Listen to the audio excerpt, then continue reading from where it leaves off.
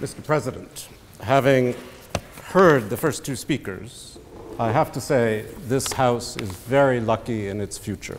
They were both extremely good, and I wish both of them the very best of luck. It's tremendous pleasure for me to be back here in Oxford.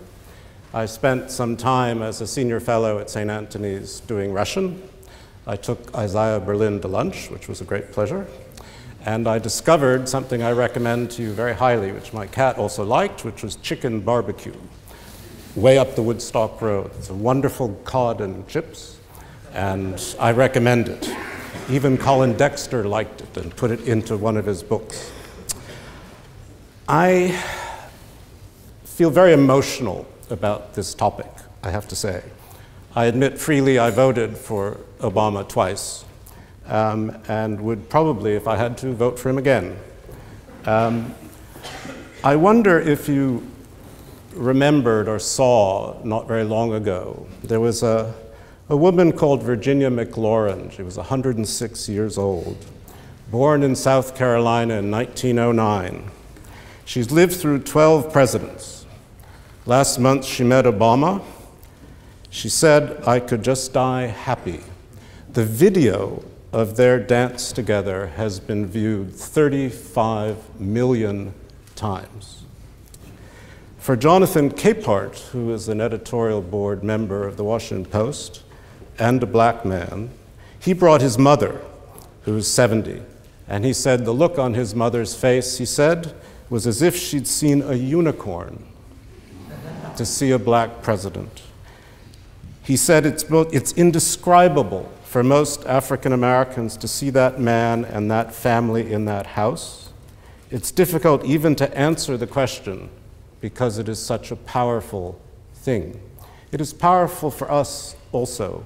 It doesn't heal all of our wounds, but the fact of his very presence there, to me, is already a success. Now, people have criticized him, other blacks have criticized him for doing more symbolic things than substance. And it is true that I think in his second term, a little more concerned about his legacy. He has been, if you like, more of a black president than he was in his first term. But as usual, the problem we have with all our presidents is what the French call angélisme. It's a way we translate it as utopianism, but utopia, as you know, comes from a book. Angélisme comes from the church.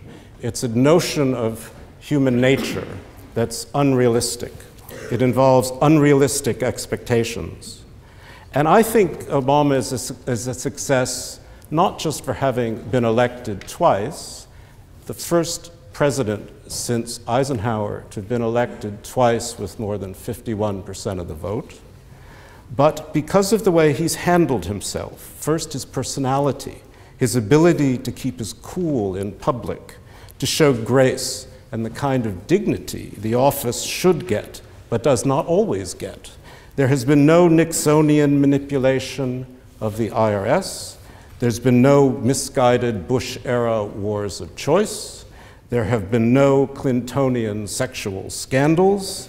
And if he and Michelle have fought, as the Secret Service sometimes rumors that they've done, they've done it behind closed doors and there's been no hint of shenanigans or even drama. He also has two lovely daughters, by the way. He, but politically, he prevented a depression and he changed the nature of healthcare. He helped put global climate change on the American agenda. He stood up to China. He negotiated a, a free trade deal with Asia he was elected, as you would remember, with a domestic agenda.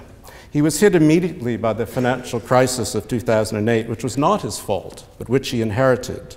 And he and his cabinet managed that, I think, pretty well. Then for health care, you know, American presidents have been talking about national health care for more than 100 years. Teddy Roosevelt talked of national health care. So did Nixon. Ted Kennedy failed at bringing national health care. Hillary and Bill Clinton failed to bring national health care.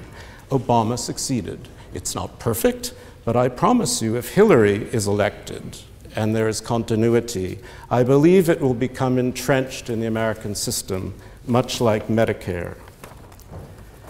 Presidents since the Cold War have been obsessed with Cuba, partly because they've been afraid of the votes in Florida. Obama broke that miserable taboo. He ended the isolation of a failing Cuba, which I think is both to the benefit of American policy in the region and to the benefit of Cubans themselves.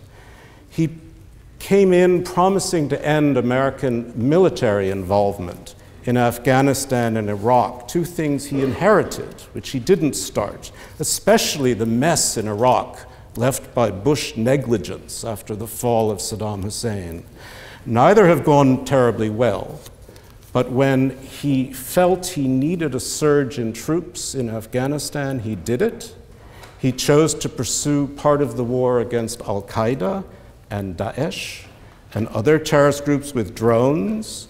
And as much as that may look bad, it has created less collateral damage than conventional warfare.